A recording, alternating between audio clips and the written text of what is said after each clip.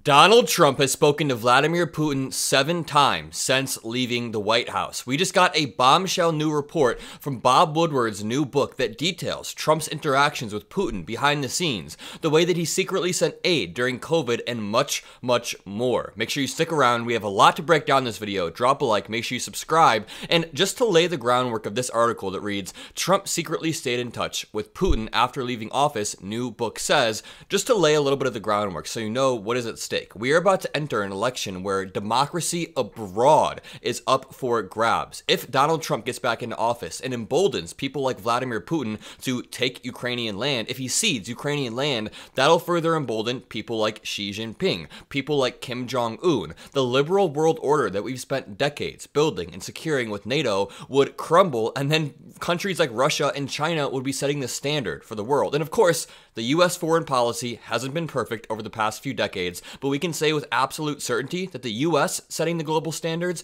that Sweden setting the global standards is better than Russia and China. So that is what is at stake. Millions of Ukrainians, people in Taiwan, and people at home. Donald Trump would cede this land, and this says a new book by journalist Bob Woodward also reveals that Donald J. Trump, while still in office, secretly sent Vladimir Putin what were then rare COVID 19 tests for the Russian leader's personal use personal you. This is so, this is so insane. Former President Donald Trump has secretly spoken with President Vladimir Putin of Russia as many as seven times since leaving office, even as he was pressuring Republicans to block military aid to Ukraine to fight Russian invaders, according to a new book by the journalist Bob Woodward, who broke Watergate a while back. Of course, you guys know. The book, titled War and scheduled to be released next week, describes a scene in early 2024 at Mar- Mar-a-Lago, Mr. Trump's estate in Florida, when the former president ordered an aide out of his office so he could conduct a phone call with Mr. Putin. The unidentified aide said the two may have spoken half a dozen other times as well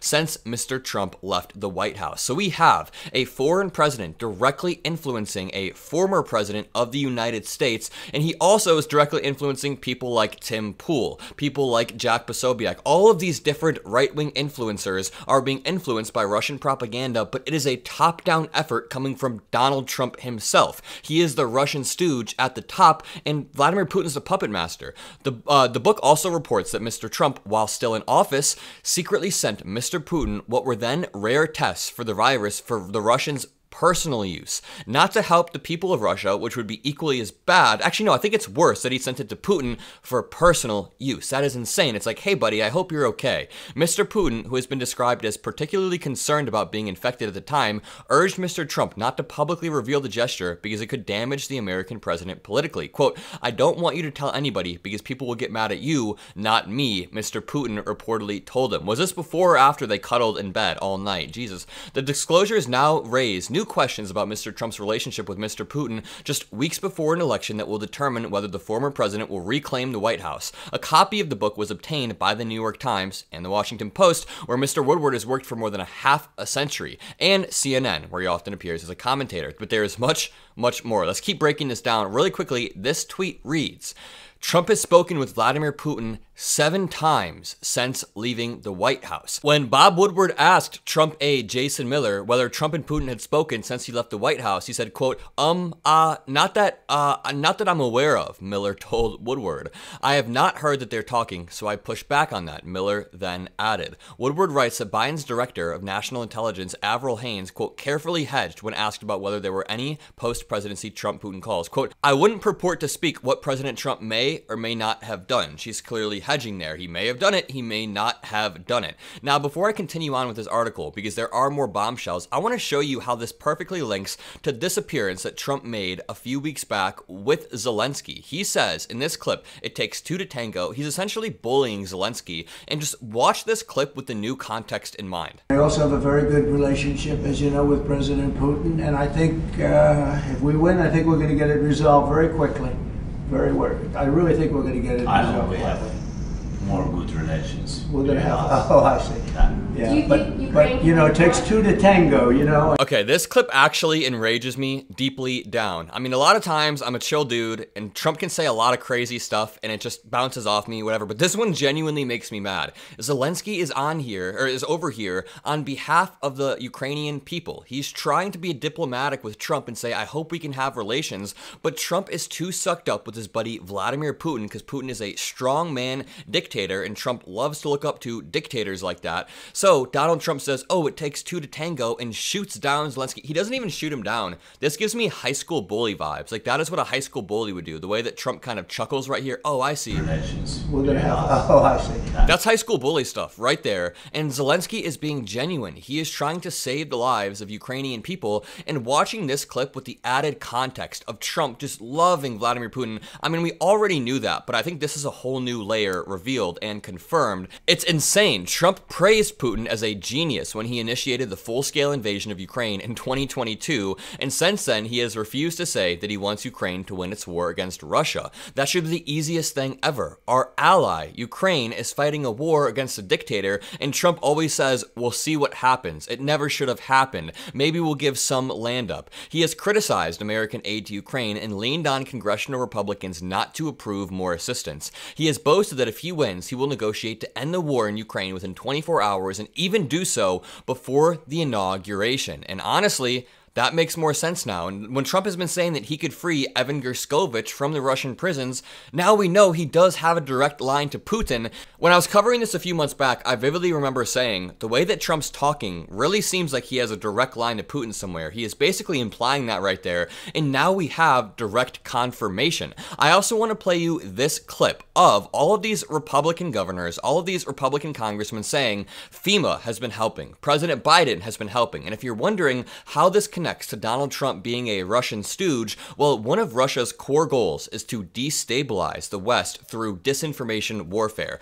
Vladimir Putin's not going to go boots on ground in the US, but what he can do is wage war using Twitter, using TikTok, using Instagram, and misinform the American people. So, my broader point here is that Donald Trump is helping Vladimir Putin wage this disinformation warfare because he is lying to the people of North Carolina, lying to the people of Georgia and Florida, trying to confuse them. And how much do you think Vladimir Putin is salivating when he sees Donald Trump confusing American citizens on his behalf? So, when I show you this clip, of governors saying, hey, Biden has been helpful. We have talked to Biden. FEMA has been helpful. I want you to keep in mind that they're they're contradicting what Donald Trump has been saying and what Vladimir Putin wants Trump to say. As of today, what has been the ongoing kind of federal assistance for South Carolina? What has been, that? it's been superb. We are, we're getting, getting assistance, and we're asking for everything we need. They're doing a great job.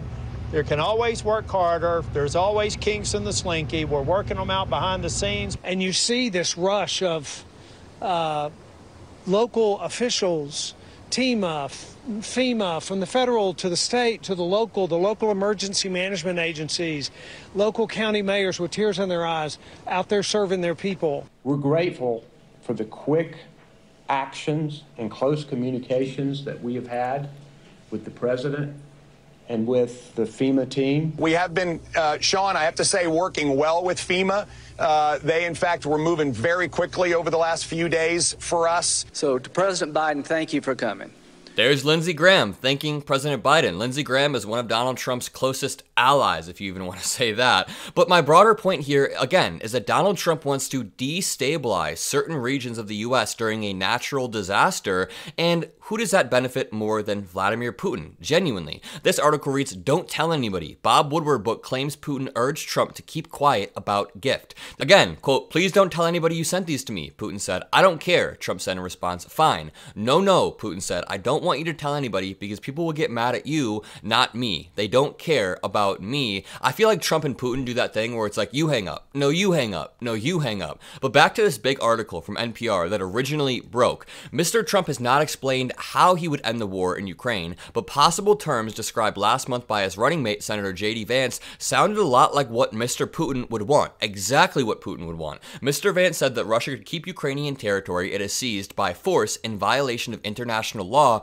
and receive a quote guarantee of neutrality from Ukraine, which would never be allowed to join NATO. There are so many things wrong with this. Let me just rapid fire them off real quick. Saying that Ukraine can never join NATO is stripping sovereignty away from the people of Ukraine and from the government of Ukraine. Allowing Russia to violate international law and steal land and get away with that, again, emboldens people like Xi Jinping to steal the land of Taiwan, and they'll go in with the mindset, hey, if we can just grab a little bit of territory, Trump will probably just let us keep it. He did that with Russia. And number three, Giving up Ukrainian land to Russia means that you're just kicking the can down the road. I say this all the time, but Russia's main war tactic is to start a war, pause that war, when it's convenient for them, and then just reignite it down the road after they've rearmed. You can look at Crimea in 2014. Putin invades, he doesn't get too far, he captures it, he he backs off, he rearms, and then boom, 10 years later they go back in, or sorry, 8 years later they go back in in 2022, and Putin is stronger than he was in 2014. So the broader point is, in 10 years,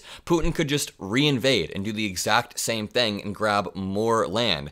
Mr. Woodward's book does not report what Mr. Trump and Putin discussed in the early call of 2024, which is this year, nor does it provide details about the additional calls mentioned by the Trump aide. It quotes Jason Miller, a top campaign aide to Mr. Trump, saying that he had not heard that they are talking, so I'd push back on that. But he also said, quote, I'm sure they'd know how to get in touch with each other if they did want to talk. That doesn't instill much confidence in me. This Washington Post article reads, Putin, petrified of the coronavirus, accepted the supplies from Trump but took pains to prevent political fallout. But not for him, for his American counterpart. He cautioned Trump not to reveal that he had dispatched the scarce medical equipment to Moscow, according to the new book. Four years later, the personal relationship between the two men appears to have persisted, Woodward reports, as Trump campaigns to turn to the White House and Putin orchestrates his bloody assault on Ukraine. They both go hand in hand. In early 2024, the former president, I hate those words, ordered an aide away from his office at Mar-a-Lago, his private club and residence in Florida, so he could talk to Vladimir Putin. Now, these interactions between Trump and the authoritarian leader of a country at war were revealed by Bob Woodward. And his conclusion is that Trump is much worse than Richard M. Nixon, whose presidency was undone by the Watergate scandal, who was exposed by the very same Bob, Bob Woodward and Carl Bernstein. Anyone seen the movie All the President's Men? Go check out the movie All the President's Men. Sorry, I just love that movie. Trump campaign spokesperson Steven Cheung said, quote, none of these made up stories by Bob Woodward are true. Remember, that is Steven Cheung's job. Donald Trump could be on camera putting a baby in a blender, and Steven Cheung would say, You know, that baby deserved it. The baby was a radical liberal. All he does is defend Trump. Eh, then Cheung issues a string of personal attacks on the author and says Trump didn't give him an interview for the book. Cheung argued that the book, quote, either belongs in the bargain bin of the fiction section of a discount bookstore or is used toilet tissue. With publication on the eve of the presidential election, Woodward, who has chronicled the success and failures of U.S. presidents for 50 years, concludes that Trump is unfit for office while President and Joe Biden and his team mistakes notwithstanding, exhibited, quote, steady and purposeful leadership. VP Kamala Harris, the Democratic presidential nominee, makes several appearances in the narrative, with Woodward presenting her as a shrewd and loyal number two to Biden, but not an influential voice in his administration's foreign policy. There you go, and that does follow. For any of you that are disillusioned with the way that Biden has handled Israel and Palestine, Kamala Harris seems to have a different approach. The book is Woodward's fourth since Trump's upset victory in 2016. It focuses principally on the twin wars consuming Biden's national security team Russia's all out war with Ukraine, which began in February of 2022, and Israel's campaign against Hamas, which began a year and a day ago. Now, there's a lot more to break down, and I'll make many more videos, but if you appreciate what I do and if you want to help boost this pro-democracy message, all that I ask of you is to drop a like, drop some comments for me, make sure that you watch until the end, make sure that you're subscribed, and most importantly, have a great day yourself. Peace out.